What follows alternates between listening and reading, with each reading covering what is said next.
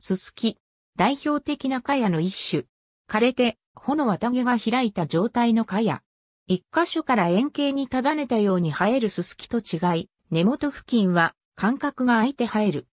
茅は古くから屋根材や死肥料などに利用されてきた稲科あるいは稲科及び茅釣り草科の総本の総称である。茅と呼ばれるのは細長い葉と茎を地上から立てる一部の有用草本植物で代表種に地がや、スゲ、ススキがある。ススキを特定的に意味することもある。総称が本義で、ススキの意が派生だが、逆に、ススキが本義で意味が広がったとも。語源には、諸説あり、屋根を吹くことから狩りやあるいは上屋、あるいは、朝鮮語起源とも。かやは元来は、かやの一種の違いやの意味で、かや全体の意味に広がった。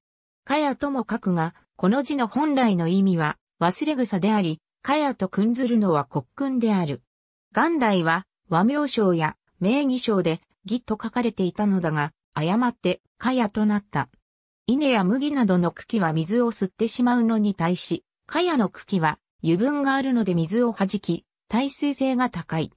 耐水性の高さから、茅の茎は屋根を吹くのに公的な材料となり、以前の日本では最も重要な屋根材として用いられた。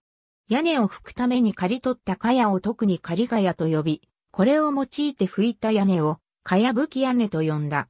現在でも、菅笠をはじめとする各種民芸品や、血のなどが茅を編んで作られている。かつての農村では、牛など、家畜の飼料、田畑の肥料、燃料など様々な利用があった。このように重要であった茅を確保するために、王子の農村では、集落周辺の一定地域を茅場とし、毎年火を入れて森林化の進行を防ぎ、そこから茅を収穫することが普通であった。茅、茅は秋の季語である。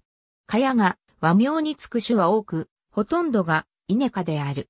茅が和名につく代表的な種と、それ以外でも茅の例とされる種を挙げる。